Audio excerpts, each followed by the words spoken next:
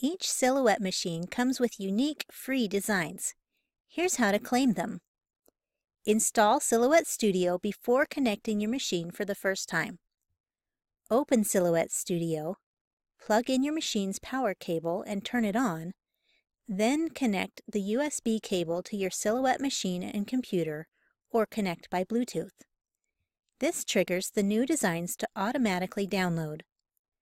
You'll see a notice that the software recognizes a new machine and will add those designs to your library.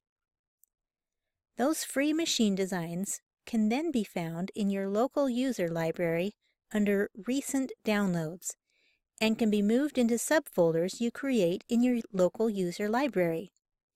These machine designs cannot be transferred to your cloud library and remain only on the computers into which you plug that machine. Now you've got designs to play with immediately and start cutting.